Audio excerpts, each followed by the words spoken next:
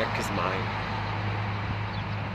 يوما ما سيختفي الذكور وسيبقى الإناث الأحياء ببساطة معتمين يعني إيه العنوان ده؟ لازم تعرف في البداية كده إن وسيبك من التكبيس والحاجات اللي أنت لاقيها على التيك توك دي وتعالى لي اعرف معلومة علمية على السريع وكمل. الأنثى. لو في آه، أنثى بتشاهدني دلوقتي فأنت تركيبك 44 زائد إكس إكس. عندك كروموسومين كده اللي هم شايلين المادة الوراثية اللي هم شايلين الجينات اللي هي بتعمل هرمونات الأنوثة فبتبقى أنت أنثى وبتظهر علامات الأنوثة زي نعومة الصوت المفروض يعني وضعف العضلات. عضلات الأنثى بتبقى ضعيفة بسبب هرمون الإستروجين والبروجسترون. ودي هرمونات آه، جينات معينة هي اللي موجودة على الكروموسوم إكس هي اللي بتخليها آه، تتكون. وإحنا يعني للي عايز معلومات أكتر للدراسة الكروموسومين إكس اللي عند الأنثى واحد شغال والتاني مش شغال. اللي مش شغال ده بيسموه جسم بار. تم اكتشافه بواسطة عالم اسمه بار.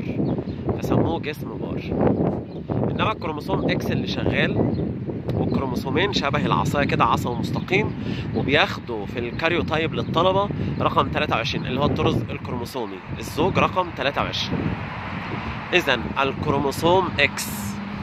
أنت تركيبك 44 كروموسوم جسمي أو ذاتي شايلين جينات صفاتك الجسمية زي لون عينيك ولون شعرك وطولك وكل الحاجات دي.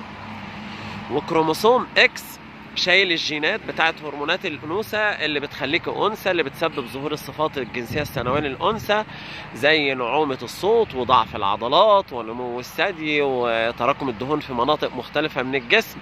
ف ونزول دم الحيض الحاجات دي كلها بسبب هرمونات الأنوثة اللي هي جيناتها بيتم إنتاجها من المبيضين والمبيضين اللي بيكونهم جينات موجودة على الكروموسوم الجنسي إكس الذكر في كروموسوم إكس وفي كروموسوم واي واحد عصوي مستقيم والتاني قصير وملتوي كده. يبقى الأنثى فيها اتنين إكس عاملين زي بعض كده إنما الذكر إكس والتاني قصير وملتوي اسمه واي يبقى الذكر والأنثى إكس إكس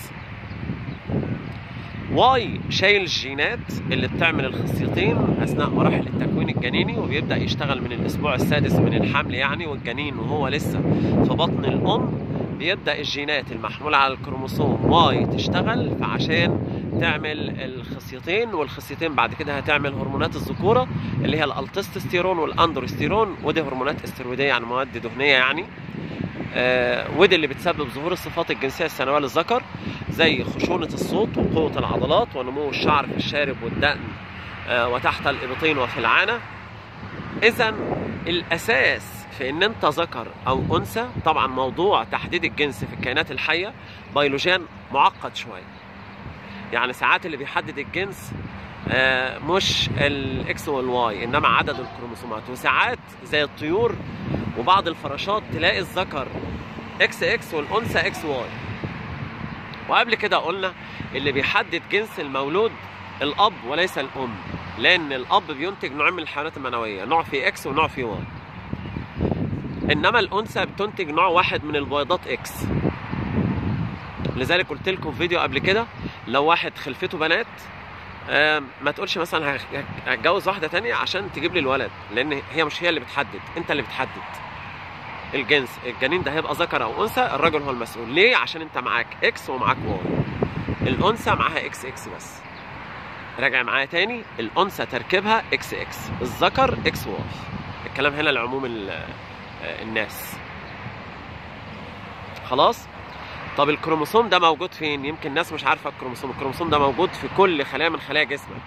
في حتة في النص كده اسمها النواة. هو اللي بيتحكم في صفاتك. الكروموسوم ده. في حاجة اسمها ال DNA. خلاص؟ فإذا دي ال ال ده بشكل عام.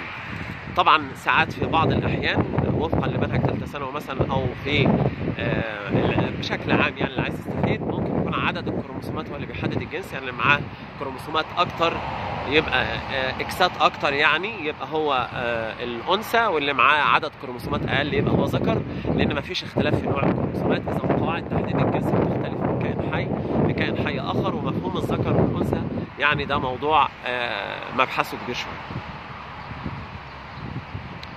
طيب أنا بدأت الفيديو بجملة ومقولة. إيه هي؟ يوما ما سيختفي الذكور وسيبقى فقط الإناث. العلماء لما درسوا الكروموسومات إكس والواي لقوا إن كل جيل بيجي يعني مع تقدم السنين الكروموسوم واي بيقل. كل شوية حجمه بيقل بيقل بيقل لحد ما في يوم من الأيام هيختفي الكروموسوم واي. انت متخيل؟ وبالتالي ما هيبقاش في ذكور. واللي هيبقى موجود بس الإناث. خلاص؟ ده كلام علمي مثبت بدراسات وأبحاث علمية. تقدر تبحث وتدور في الموضوع وأنا بحب دايما أبحثه. أنا آسف لأن أنا ما بجيبش مصادر آه، بلحقها بال- بالفيديوهات يعني. بس أنت تقدر تبحث وهتلاقي وهتلاقي المصادر أنت آه، كتير. بتقول نفس الكلام اللي أنا بقوله ده. لأن أنا بحاول يعني إيه آخد يعني ناخد الموضوع ببساطة آه، للطلبة أو للناس. فبندي بس شوية قشور مش آه، معلومات أكاديمية قوي أو آه، متخصصة قوي فإذا يوما ما سيفنى الذكور وسيبقى فقط الإناث. بس ما تقلقش آه، مش دلوقتي. الموضوع ده هياخد حوالي 300 ألف سنة 400 ألف سنة. إذا خلال 300 ل 400 ألف سنة تقريبا ما هيبقاش فيه ذكور ابحث في الموضوع آه، والطلبة اهتم بموضوع تحديد الجنس. وافتكر إن الكروموسوم واي الجينات اللي عليه بتبدأ تشتغل في الأسبوع السادس من الحمل. والكروموسوم إكس الجينات اللي عليه المسؤول عن تحديد الجنس بتبدأ تشتغل في الأسبوع ال 12 طبعا الكروموسوم إكس أساسي وضروري لاستمرار الحياة وهو أهم من الكروموسوم واي بدليل إن الإناث ما عندهاش واي ومش جاري لها حاجة وحياتها زي الفل. إنما آه، الذكر لو عاش من غير إكس لو شلت الإكس منه يموت. وطبعا افتكر بقى الطفرات الصبغية. إحنا قلنا ال- الحالة المثالية 44 زائد X X يبقى أنثى 44 زائد X Y يبقى ذكر. ساعات بيبقى في حالة كلينفلتر اللي هي 44 زائد إكس إكس واي. وده ذكر بس بيبان عليه علامات الأنوثة وبيبقى ذكر عقيم طويل ونحيف والثدي أنثوي. آه في حالة كروموسوميه شاذة اللي هي نقص الكروموسوم X بتبقى 44 زائد X آه بس. ودي بتبقى اسمها أنثى ترنر وساعات بيبقى 44 زائد 3 X اللي هي بيسموها ال super female أو الأنوثة الفائقة لأن معاها ثلاث كروموسومات X. فتخيل يعني إذا كان الإناث ب 2 X يعني وهابلين ال- الذكور فما بالك دي معاها 3 X. ولكن على عكس ما قد توحي به التسمية فهي أنثى مصابة بتخلف عقلي. الأحياء ببساطة مع تميم see you.